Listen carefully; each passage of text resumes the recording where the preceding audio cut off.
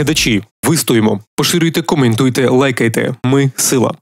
Російський терорист, який підтримує агресію проти України, Ігор Стрілков Гіркін, розкритикував рішення керівництва РФ сформувати і направити на війну добровольців з регіонів. Про це він написав у своєму телеграм.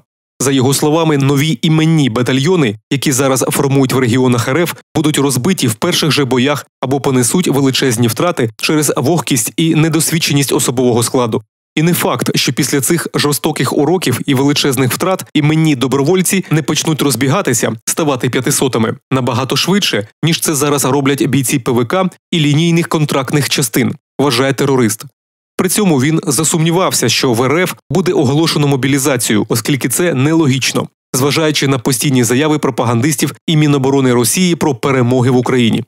У зв'язку з невдачами на фронті першим і головним кандидатом на виліт є міністр оборони РФ Сергій Шойгу. Йому пригадається все: і 2000 безпілотників, і танки, літаки, ракети, що не мають аналогів в кількостях штук, рахованих по пальцях, і дивовижний підбір керівних військових кадрів і загальне постачання військ і т.д. і т.п., пише Стрілков.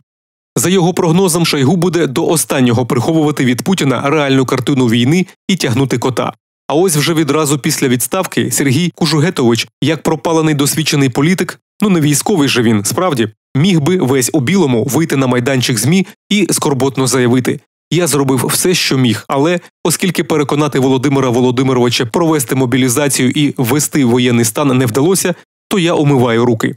Але Сергій Кожугетович не зробить цього ніколи, оскільки слово честь для нього не більше ніж абстрактне поняття, а ось влада штука зрозуміла до незмоги і цілком відчутна. І владою, заради якоїсь честі, йому пожертвувати навіть в голову не прийде, а зіграти в чесного скільки небудь переконливо не вистачить мізків, пише терорист.